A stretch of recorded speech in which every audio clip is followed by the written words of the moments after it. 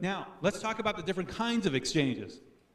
Now that I know I have to replace cash and debt, it has to be into investment real estate. In fact, I'm going to bring up a question that somebody brought up to me when we were talking a little bit beforehand. Hey, can I do an exchange into a property? I know I have to buy it with the intent to hold for investment. But what happens? Can I move into it? And then live in it for two years? And then sell it? And take my 500 grand or 250, whatever applies? Can I do that? Got to be careful. Because the IRS says you have to buy with the intent to do what? Hold for investment. The IRS says you have to hold it for investment. I understand that. But how long do I have to hold it before I can move in?